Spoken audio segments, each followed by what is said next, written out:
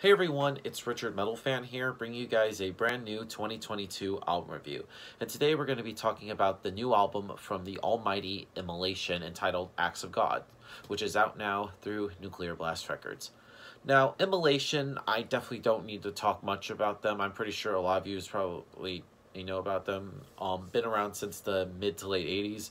Uh, part of the big death metal scene from New York, along with like bands like Incantation, Mortician, and Suffocation, as well as one of the best in the death metal genre. Um, originally, they were kind of like formed after a demise of some of the previous band called Rigor Mortis, uh, which was formed by, of course, uh, Andrew Sakowitz, their Dave Wilkinson, and Rob Vigna, who's the guitarist from Immolation. And then they did some demos, and then they then Ross Dolan came into the band, and then they changed their name to Immolation, and then they've been putting out their albums since th their classic debut album, which came out in 1991, Dawn of Possession, which is probably one of the best death metal classics. I pretty much put it up there with like Tomb of the Mutilated or Butchered at Birth or even Once Upon the Cross. I think it's just classic. Um, and this is the band's 11th full-length album, and this follows up their previous album, which came out in 2017, Atonement. So does Acts of God live up or exceed what Atonement has? I think it definitely has. Uh, this this album has like 15 tracks and runs for almost an hour, and I thought they they definitely feel like they've done a lot. But I feel like the little nitpicky thing is I wish they kind of had had like with all the 15 tracks they could have like added like little interludes and stuff.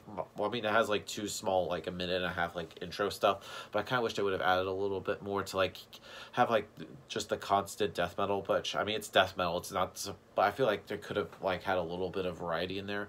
But not to say that this album is bad by any means it's definitely good structure wise and music wise um let's just talk about like the vocals. Like Ross Dolan's vocals, uh, he just sounds really great, and the way that Ross just goes in just so fucking heavy. I just I don't even know how does it. Um, the guitar work on this album is tight. Robert Vigna and Alex Bouks come up with some really great guitar or riffs, and just the riffing on this album is great, and just the soloing is great the bass on this album is a pretty audible. I think Ross definitely stepped it up. And the drumming from Steve Shalaty, it really is just uh, in your face. So without further ado, let's dive into this album track by track. Now, starting things off is Abandoned, which is a little short little intro piece. It has a kind of like I don't know, it feels like it's just building for anticipation, which then leads into the next song called An Act of God. Now, An Act of God is all you need to know about Immolation's take on death metal in four minutes. Has an aggressive black blast main chorus riff leading into like a great verse riff with some blackened doom overtones. And then Rob Vigna is not really just comes up with some great riffs and there's a will pitch pinch, pinch harmonic at the tail of like the standard death metal tremolo pick riff and there's like a diminished chord there which never just fail it'll then pretty much elevates the immolation to heights up above. Um, and then we move on to the age of no light has a very trudging mid section which builds an eerie two guitar break which overlapping solos pointing the way of like a suitable dismal outro riff and it pretty much shows that a little over 30 years after they debuted they pretty much focus on a an atmosphere as aggression next song on the album is called Noose of Thorns. Now, this is bookended by a slower, brooding material, but just picks up into more of the blackened riffage and some seriously catchy hooks in there. Um, Shed of Light, uh, not Shed of Light, Shed the Light is up next, and it's just powerful and heavy from the start. And has a lot of power, and it stays really consistent throughout. And it brings in sort of like the melody uh, in the riffs and in the chorus, which gives it kind of like different moments that blend seamless. And the solos really just match really well with the lyrics. Um, next song on the album is called Blooded. Ugh, just a pretty gnarly song. The same thing with Overtures of the Wicked. I think Blooded and Overtures are just fucking amazing. Um, and then we go into Immoral Stained. Now, Immoral Stained leads you into sort of like a false sense of security with a quiet, brooding intro before leading into just a punch in the face. He's, ugh.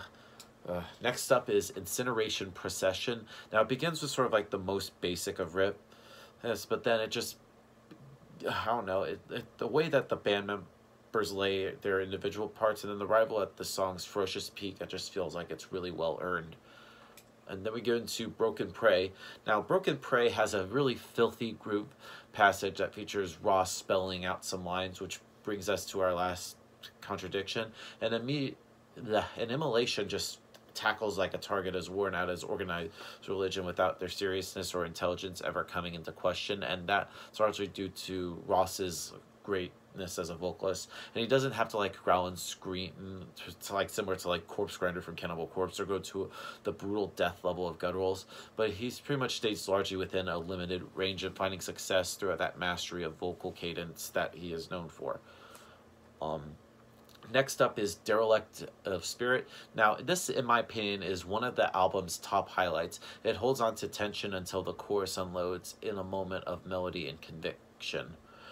Uh, when Halos Burn, now, is another standout track that pretty much changes speeds. It keeps you on your toes, and the band sort of like goes through their signature brutality and different like intervals, and it's kind of like writing one of those. I don't know. It's just a really interesting song and then Let the Darkness In, really freaking sick song. And then we get to another their song called And the Flame Swept, which is just a little intro piece, which I think is really great to lead to the final song in the album called Apostle, which is actually the first single release from Act of Gods. Now, this pretty much demonstrates the stellar production in of the hands of like Paul or Rufsino and Zack Ohren. And this type of music isn't easily easy to ma- easy to mix and master in a way that gives all the instruments sound and space. But I just love what the production has done here, and this one is one of the best sounding records today. Now, overall, Acts of Gods by Immolation, pretty good album, long awaited follow up to Atonement. Five years since we heard any new out music from Immolation. So, if I had to give this album a score, I'm going to give Act of Gods by Immolation a solid 8.5 out of 10. So, yep, that's my review of the album, guys. Let me know in the comments you guys think about it, and I'll see you all in the next video. And as always, keep it metal.